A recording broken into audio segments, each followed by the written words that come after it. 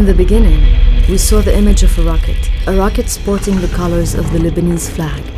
It's hard to believe. Yet at the very beginning of the 60s, a small group of students from Haigazian University, headed by Professor Manouk Manoukian, launched the first rocket of the Arab world. This is the very beginning. I looked at my students and said, okay, we're going to start from scratch. At that point, we said, okay, now we can look at larger rockets.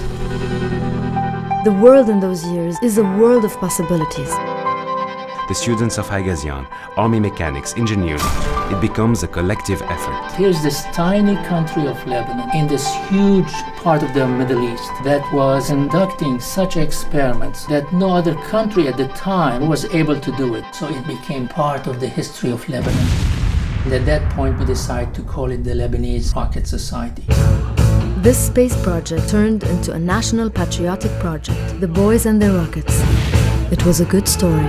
It's the era of the great Arab dream. It incites internal conflicts in Lebanon and almost a civil war in 1958. The space research could bring together a population that has always had difficulty existing as a nation. The rockets become a symbol. Others in the region became interested in rockets.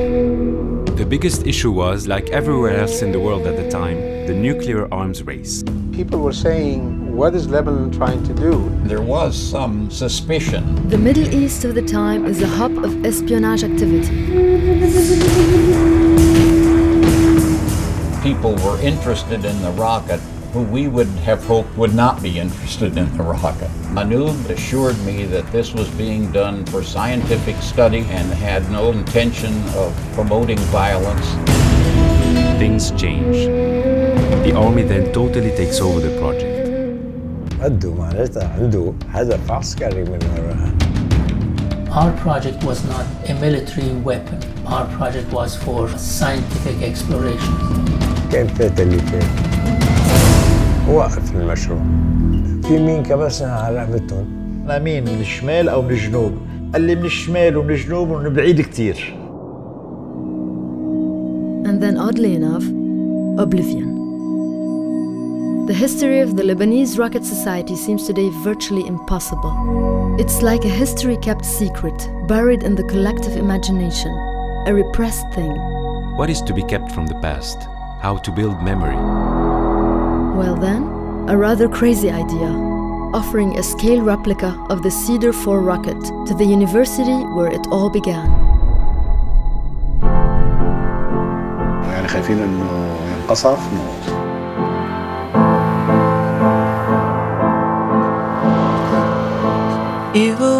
يعني الكل هيك بيستغرب في ناس يمكن ما بيتذكروا بس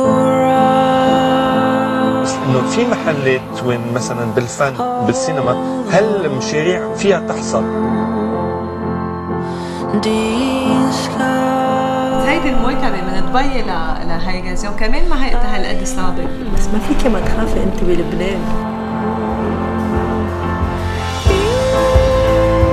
Provoking, outwitting reality, defying it.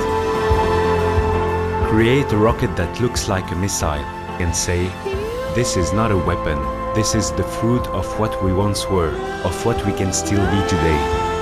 Researchers, utopians, dreamers. I wonder if I'm alive. In accordance with our instructions, we continued toward the planet which its inhabitants call the Earth in order to study their mode of life. The intelligent creatures on this planet call themselves human beings, and they exist in an amazing variety of conditions.